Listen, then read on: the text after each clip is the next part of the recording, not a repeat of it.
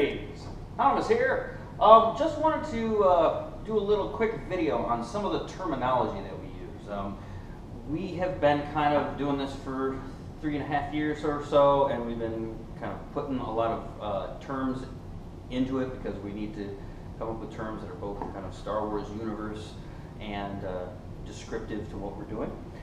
So uh, there's often a lot of uh, confusion. Now, we do use terms from canon, but we don't necessarily use them the same way. So I'll just kind of go over a few. Um, first of all, the one word that we have all in common is velocities. Velocities are those two-person exercises that we do. Um, those are the, the, the basis for pretty much all of the kind of combat strategy and all of that. Um, also, we have accelerations. Accelerations are the drills, the solo drills. They're usually done in repetition over and over and over again. And if you think about it, the term acceleration, building up speed, building things up, that's the purpose of that particular uh, style training. Um, Dulon, um, which is a canon term, but it is kind of nebulous into what it means, we use almost exclusively for solo sets, which are large, complicated sets of lots of movements. Essentially like choreography with one person. Um, and they have a, you know, a variety of different uses and, and all of that kind of thing. Within Dulon, each Dulon has sections. Um, and these sections we call trajectories uh, for obvious reasons. Again, we're trying to be as descriptive as possible while staying with the spirit of uh, Star Wars and the stuff that's already kind of gone before.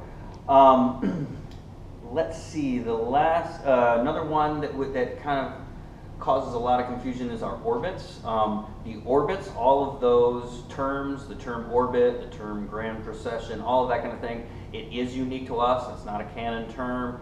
It's um, some other people may may be using it as well, right? And that's that's fine by us. We we like uh, introducing this kind of stuff and talking on the same level. Um, obviously, orbits are pretty self-explanatory. You're getting your saber to kind of orbit your body all of that kind of thing. And of course, it has space connotations and all of that. Um, in some of the other forms, you'll notice that a lot of the uh, vocabulary is taken from astronomy. Um, the moon guards in Makashi in Form 2 are based on the phases of the moon.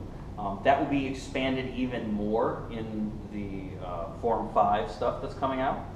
Um, so there's the phases of the moon. Uh, you've got your photosphere, uh, chromosphere, and corona, which are all thing, uh, aspects of the sun.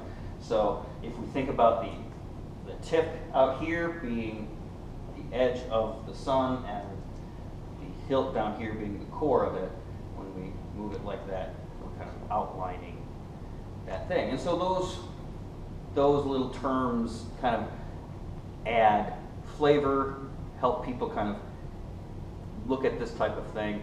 So uh, there, that's that's kind of where we're, we're coming from it. So those are kind of the terms that we've introduced and we're, we're we kind of use and, and, we throw out there. I know a lot of people kind of confuse velocities and accelerations or trajectories and, and all of this stuff because they're all kind of the same term. Um, like I said, I pretty much picked those words, trajectory, um, I didn't pick velocity, but um, trajectory and acceleration based on velocity.